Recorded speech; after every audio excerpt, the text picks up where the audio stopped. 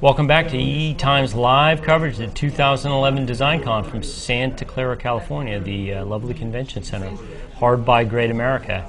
Um, a quick programming note before we get to our next guest, and the programming note starts with one word beer.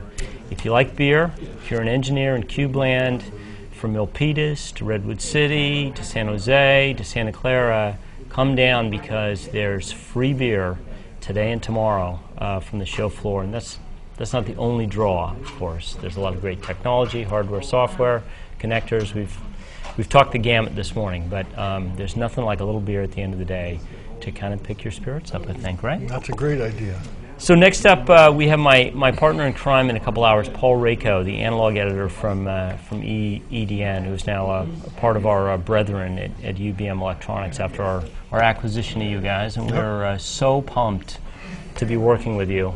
And uh, you and I are doing the so-called teardown smackdown, a comparison of the Dell Streak and the Samsung Galaxy, uh, two of the hottest tablets uh, on the market in the last couple of months.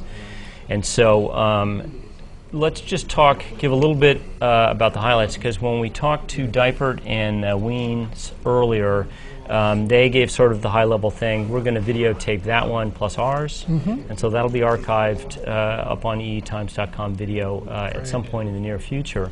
But uh, let's talk a little bit about the Galaxy Tab and uh, and, and what you saw, and I guess we'll have a couple of special guest friends of yours there. Right, I got a couple engineering buddies to help me uh, tear into it and give their comments. And one works for one of the biggest touchscreen companies, man- manufacturers in the world.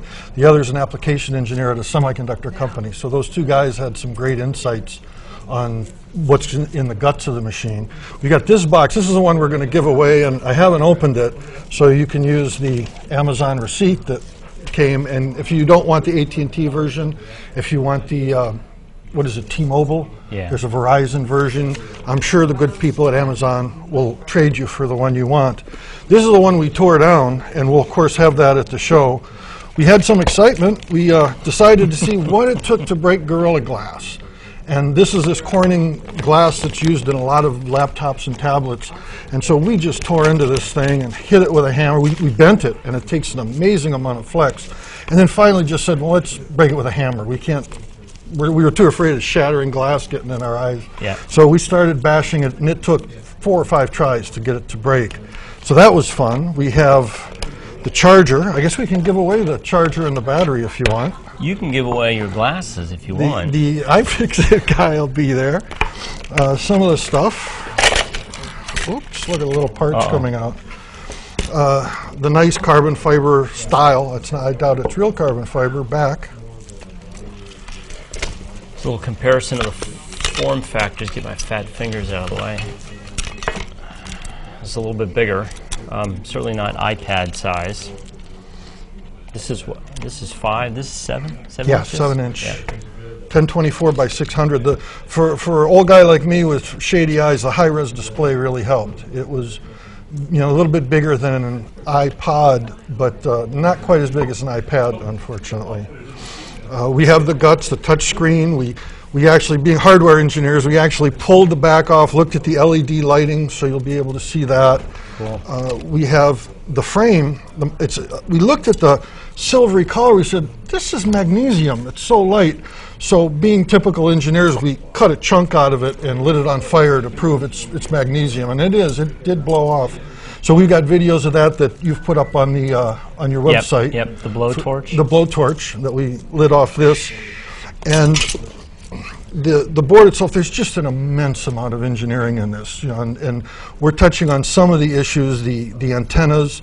Uh, in the presentation we'll be giving, I used a lot of pictures from the iFixit website. Right.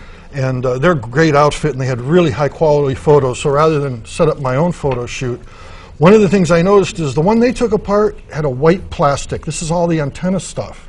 And it occurred to me maybe it's based on the plan and the frequency.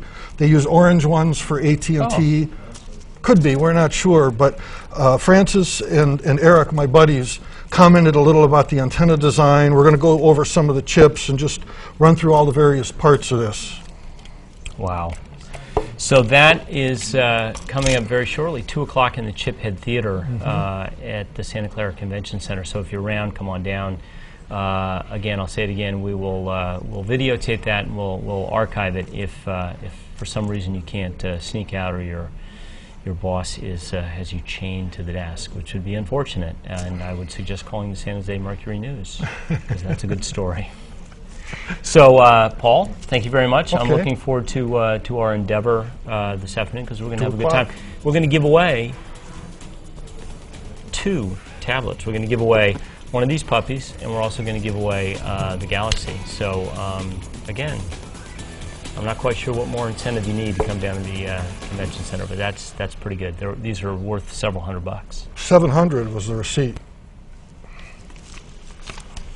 Seven hundred dollars, and that but that's without the plan, right? Yeah, that's no plan, and now I noticed on Amazon they're down to 629.